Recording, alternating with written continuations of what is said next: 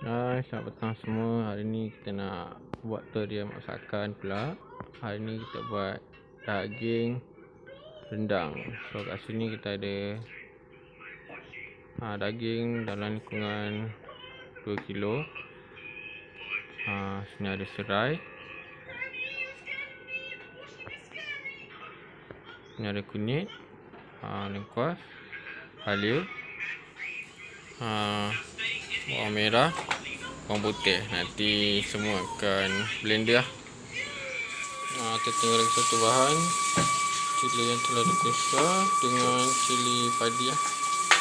So, nanti blender sekali. Kita dah blend serai halia lengkuas kunyit sekali. Terus masuk ke dalam kuali.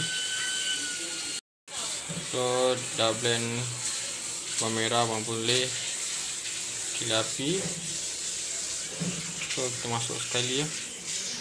Dalam kuali. Macam ni hasil dia dah, dah masuk semua.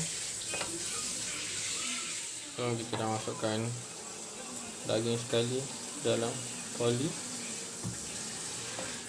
Kita kacau. Bagi kita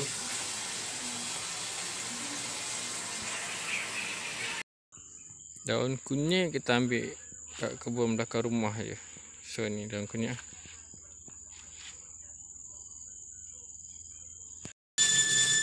Daun kunyit tadi dalam tiga helai uh, Dengan tambah krisik lah Dalam sebotol macam ni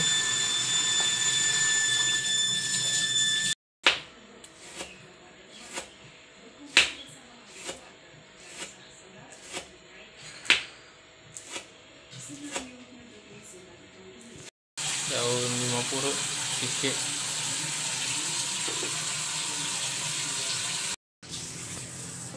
So kita kacau sebagi tunggu sampai daging dia empuk.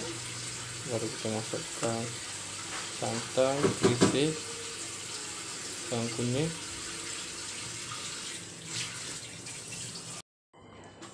So masukkan garam, gula, cukup rasa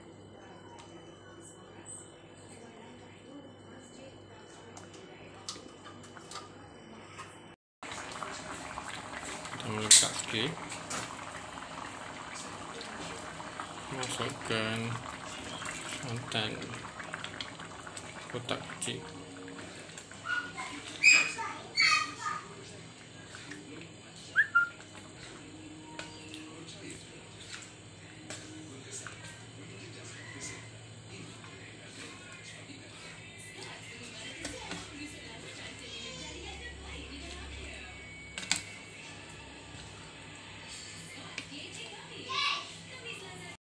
Okay, masukkan krisik So,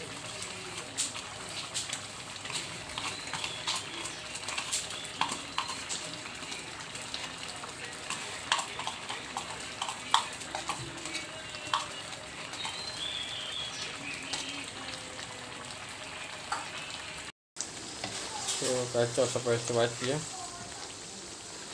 Lepas dah masuk krisik tu.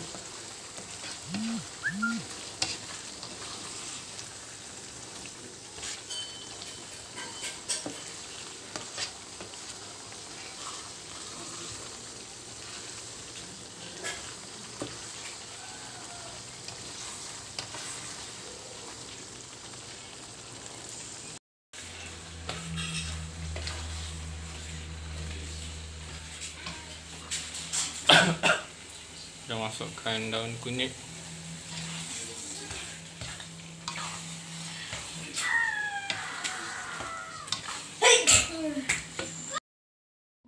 Okey, dah siap rendang daging cili api.